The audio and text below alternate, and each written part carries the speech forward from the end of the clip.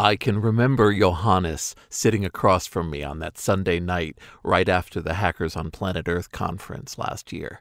And he said he was going to give me details about a project he wanted me involved in.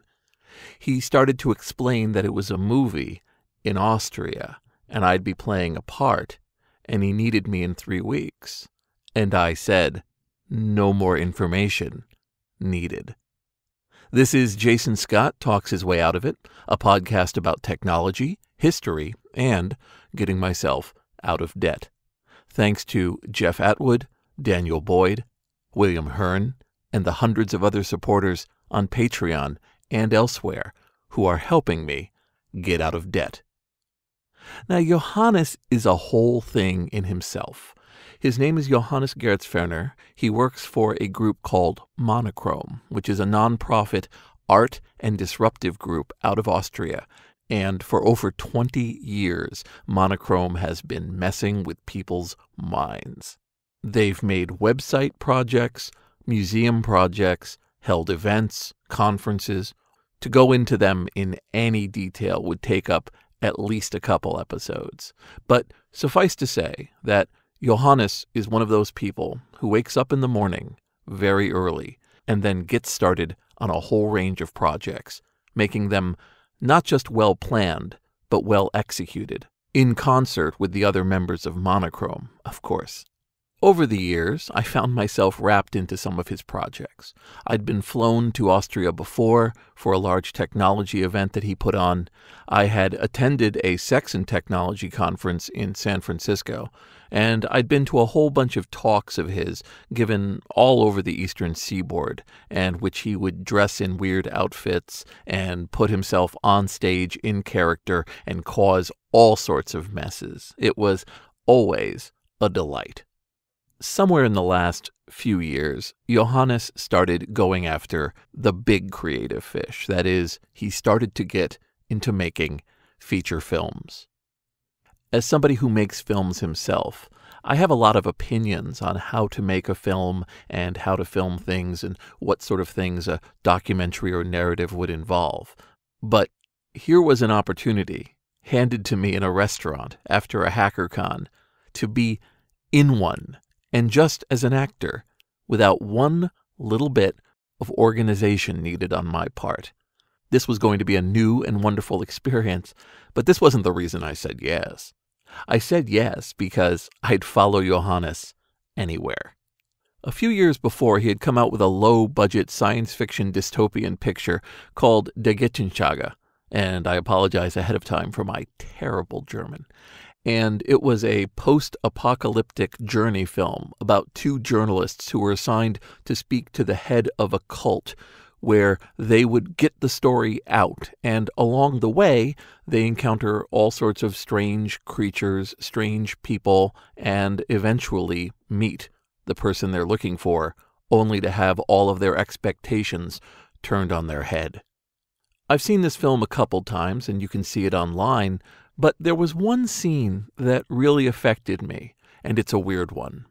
In a bunch of post apocalyptic journey films where everything is weird and off kilter and our hero is trying to get somewhere, there's usually a low point.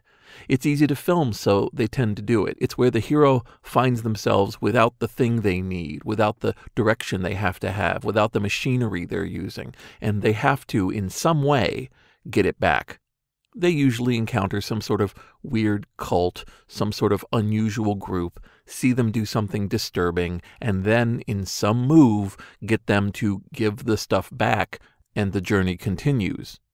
So in Die Gstettensaga, they encounter a group of cultists who worship electricity and appliances, and they actually break into a pretty complicated song and dance number while dressed up in Christmas lights, singing about the glory of electricity. The leader of the cultists is a hundred percent into this character, totally, utterly invested, and he is strange and weird and glittery and glowing. He is going to give the performance of his life. I thought to myself, you know, as someone who loves films and actually really loves low budget films, I would love that opportunity. Just to be given something, something that I do, and I play it to the hilt. I resolved at that moment, if there was anything Johannes ever needed me for one of his films in the future, I'd be there. Johannes does have his own white whale. There's a film he's been wanting to make. It's a historical musical.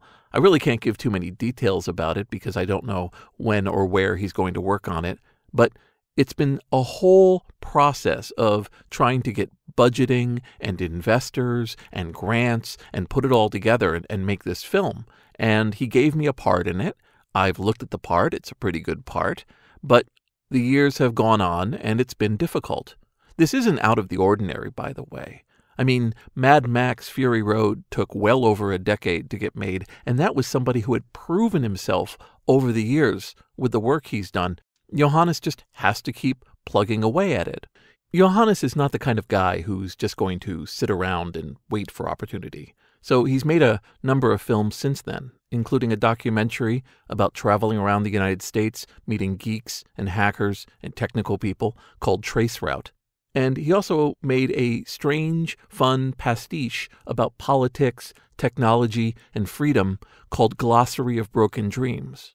I made an appearance in that film, but it mostly involved me reading a five page script inside of a studio in my hometown and then sending him the WAV files. But here he wanted me, in the flesh, acting like somebody else, and I had told him, whatever it was, I was going to do it.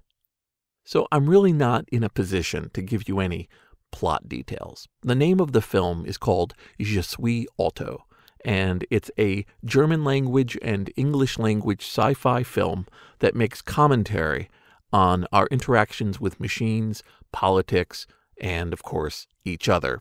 And it stars a talking car. I'm one of the passengers, a gangster who's going from one place to another, and things don't go as planned. I'll leave it at that. The car is played by Chase Masterson, who was a Star Trek actress and has done a whole bunch of other work and is a very good singer. So I was mailed the script by Johannes and I started reading it over, and it's natural when you're an actor to find out how many pages do you have? Are you there at the end? Are you mentioned in these scenes? What do you have to say? How many days am I going to have to be on set? The booking that Johannes made for me in Austria would put me in there for five days. Of those five days, three of them would be shooting days. Each of the scenes is given a number, just something like 5, 15, 25, and then a simple title like exterior day, parking lot, restaurant. And you know, as an actor, which scenes you're in. Scenes 2, 5, 7, 23. That's no indication of when you'll be filming it, where you'll be filming it, or how you'll be filming it. When you're working with a director, somebody who's in charge, they have a vision of what their film is going to be, and you, as an actor, can play various amounts of involvement in the planning and execution. I mean, obviously, you're reading the lines, but how much more than that you want to do, well, that just depends on your style. One of the things that I first came back to Johannes with after reading was asking, Should I shave my head? The reason why was because this was a tough talking character, and I know that when I had shaved my head in the past, people had said it made me look like an entirely different person. And Johannes couldn't believe I would do that. With some actors, there's an obvious pay differential to make them change their hairstyle radically, but I was totally for it. He said, okay, and I shaved my head, freaking out a lot of people in my life. I purchased an inexpensive suit, which they expensed, and ended up buying three of them because at some point my character would have to end up on the ground, and I thought it would be better just to have a couple suits in reserve. After that, it was just a matter of reading and rereading the part. At one point, I offered to rewrite one of the paragraphs of what I was saying just because it had some strange constructions of the sentences and I thought it could be a little bit better. I wrote it, they agreed, and that became my new lines. A week or two later, I was on my way to Austria, ready for fun. Either you know how films are made or you don't. I'm just going to talk about some of the things that people may not expect. Most films, the vast, vast majority, are not filmed sequentially. If you see a character in a deli, and then later they go all through the country, and then they end up back in the deli, they probably shot both deli scenes in the same day, even having to redo how people's hair looked or if they've got a scar or anything else. If you see something where a person is looking at someone else, there's no guarantee that other person is even on set. Chase Masterson and I were never in the same place. Her lines were filmed weeks and weeks after mine were, and a person on set read her lines, and in fact, she hadn't even been cast at the time. There's scenes where I'm in the car while it's moving. Well, the car is not moving. It's sitting inside of a garage. There's a light fixture nearby with a sort of windmill next to it that is causing it to look like I'm passing shadows, and the effect is pretty cool, but the car is not moving. The whole thing was being handled by an excellent production company, people who are really good professionals who had done all sorts of shooting, and this was a chance for them to do a certain kind of feature film. And Johannes had written the script along with a couple collaborators, but they were contributing a whole bunch of expertise as well. There were people on set doing lights and sound and camera. There was craft services, people who were providing food.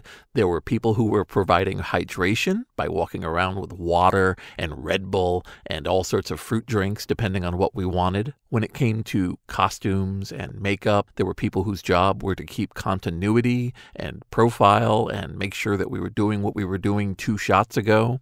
In other words, a team working in lockstep to make this movie look like it had been shot in real time across a day. Whenever they have to move the cameras and the lights to get another shot, that's called a setup. That means that there's going to be a whole bunch of planning and arguing about the angle and how they're going to do it, and then the actors wait around while this happens, and then eventually, eventually, there'll be some shooting. This is something I wish more people knew. It is possible to wait for hours, hours before you do a 30 second shot. There might be a conversation that you have with somebody, and you're supposed to be very angry at them, and you're supposed to look over the table and shout at them and point at them. And you might wait for two, three, four, or five hours while everything around you is being arranged. And eventually you're called, and you have to be accessible so you might be on some sort of nearby trailer or some lawn chairs or in a hotel nearby, but you'll be called in by the staff and you will have been waiting for hours for this chance. So if you're a normal person, if you are waiting for your one moment to go on, you are going to put all of your energy in it. This is what you've been waiting for all day. This came into sharp focus with me and a woman who was playing a policeman, where my hand had to go out with a passport, and my hand hit her in the face. And after I apologized profusely after they shouted cut, she said, No, we got to keep doing that. That's hilarious. So I hit her harder the next time. In fact, it's often a case that the director has to keep things from becoming slapstick because the actors have been getting punchier and punchier waiting for their moment. The first day of shooting, which happened just an hour or two after I landed in the airport, had no lines. My character was in the scene, but I wasn't speaking. Later shots had me sitting around or interacting with Johannes, and then a couple days went by, and then I would do a scene where I did a whole bunch of talking that took place before the other scenes completely out of chronological order. When it comes to lines, I'm not the person with the greatest memory, but they did a pretty good job of working around that, of filming me and having me hear them say the beginning prompt of the next line, and then I would go off on what I was supposed to say. Sometimes I got the lines wrong, sometimes I got them right. We just did takes until we got it right. My character was meant to be boisterous, vicious, have a hint of menace, and I tried to focus on that. On one of the days I wasn't acting, they were going to shoot in Czech at this very strange tourist attraction and do some shooting in the parking lot. And since I'd never been to the country, this seemed like something I could not avoid. I ended up traveling for well over an hour and a half with the crew as we went to this parking lot of this business. And it's impossible to describe how weird this place was. It's on the border between Czech and Austria. It has a casino, it has a shopping mall, duty free shops, and it has a full plane sitting in one part of the parking lot that's a restaurant. It is, in other words, a classic tourist destination. In the parking lot, people were dressed up in different characters and running around, and as it turned out, one of the interactions had to be with my character, so we just had me read my lines, and that's the rare time that I actually met another actor I was interacting with. Most of what I did was just walk around, go through all the shops, try not to be seen in the back of other shots, and just enjoyed watching the process. And here's the thing I'm so used to directing. And when you're in that position, your mind is in a dozen different places. You are trying to make sure the shot looks good. You're trying to think about the pacing, about the answers, about going on to the next bit of the shot and making sure everything's in order. But when you're an actor, the thought process is completely different. You're thinking about being somebody else. You're thinking about being a character. You're trying to get your lines right, look in the right place, and interact. But you don't have to worry about whether or not the light is right or whether there's something in the background. Your job is to be that person or character over and over in a way that the editor later has something decent to work with and they can make things flow being an angry gangster who's yelling at a self driving car, that was fun. This was a well oiled machine. I never saw anything that would have concerned me about skill or that what was going to come out the other side would be anything other than a fun romp and a well put together story. When we hit that last day of shooting, and I read the last of my lines, did the last of my poses, and then went back to the production house to take a few publicity photos, I was just so pleased to have said yes to Johannes's offer in that restaurant after that HackerCon. This is Jason Scott talks his way out of it, thanks to James Bekoyanu, Mark Pilgrim, Adam Green, and the hundreds of other supporters on Patreon and elsewhere who have been helping me get out of debt. So, this movie has been edited. I know that. And I know they're going to have a premiere in the next month or two. I have no idea what it's going to be like. And this is probably the best lesson I could explain to people when they see things about movies and actors. And in the movie, an actor is a certain way, and then they ask him questions or ask her why she made this choice. And they always say, I don't know, because it turns out that you actually have very little control over the movie's flow, regardless of the words you think you've said. And the character you thought you were playing. There is a wonderful YouTube video talking about how Star Wars was saved in the edit, and it shows all the traced shots they used and then realigned them, including lines and scenes and poses, to give a whole different feel to the movie when they radically changed its flow. There was about three movies filmed for Star Wars, and they used one movie's worth and it was the work of an amazing editor, Marcia Lucas, George Lucas's wife, who actually made a film out of what was an overshot mess.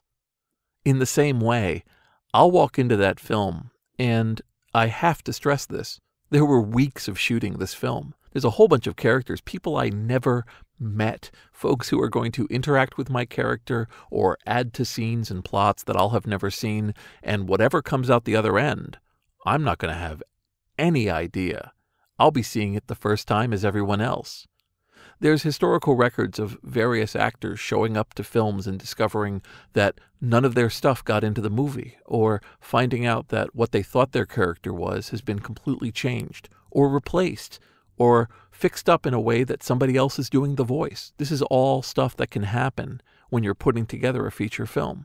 You put your energy in, you give the best performance you can, and based on a whole bunch of factors that you have no control over, something else is going to come out the other end.